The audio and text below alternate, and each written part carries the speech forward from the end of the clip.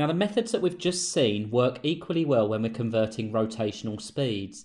Now rotational speeds in engineering are often quoted in revolutions per minute. We think about the speed of the drive shaft of a car travelling typically between 2000 and 5000 rpm. But in engineering we're often required to convert that first to radians per second. Because as mentioned previously, that is the true SI unit or standard international unit of angular measure.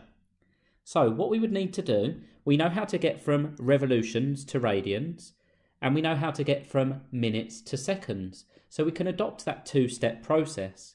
So if we're given a speed of 2,500 revolutions per minute, and we're going to go through a two-step process. The first thing that we're going to do is we're going to convert that into rads per minute.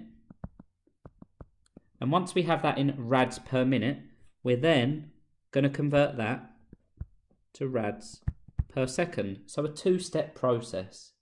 Well, the way we get from revolutions per minute to radians per minute is the same as the way we get from revolutions to radians.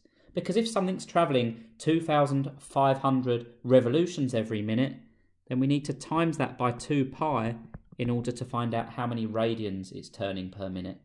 Because of this fact up here, one revolution is 2 pi radians.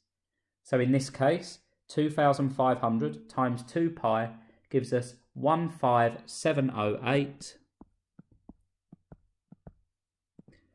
radians per minute. But we're not finished there. If something's travelling 15,708 radians every minute, then to find out how many radians it's travelling per second, we need to divide that value by 60. Dividing by 60 in this instance gives us 261.8 radians per second. So once again, it's a two-step process. First of all, we're converting from revolutions to radians, and then we're converting from minutes to seconds. So to get from revolutions to radians, we times by 2 pi, and then to get from minutes to seconds, we divide by 60. We'll just do one more of these just to clarify these points. If we have a rotational speed of 7,100 revolutions per minute, first of all, we need to times it by 2 pi. And by timesing it by 2 pi, it's going to give us the radians per minute. And in this case, that's 44,611 rads per minute. But we don't want rads per minute, we want rads per second. So what we need to do is we need to take that 44,611 and we need to divide it by 60. Now when we divide that by 60, we get 743.5 rads per second.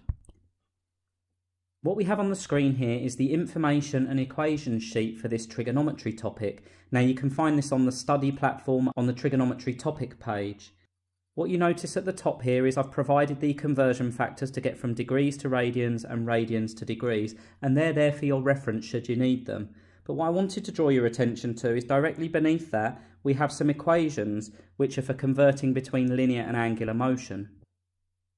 Now, I don't want you to get hung up on the derivation of these equations. All I want to make sure is that you're able to apply these, and there's a couple of key pieces of information to share with you.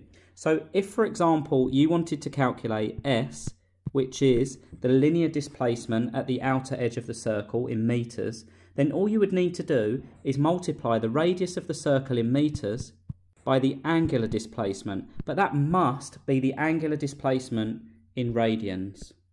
Okay, so we've just seen how to convert from degrees to radians and how to convert from revolutions to radians. Providing we input the angular displacement in radians, multiplying it by the radius of the circle will give us the linear displacement in metres. Now the equation directly underneath that's for linear velocity and the principle is exactly the same. The equation's very straightforward. Linear velocity is radius times angular velocity. But again, here's the key thing. We must use the angular velocity in radians per second. Once again, you've seen how to convert from revolutions per minute to radians per second. Providing you remember to do that step first of all, All you then need to do is multiply by the radius to get the linear velocity.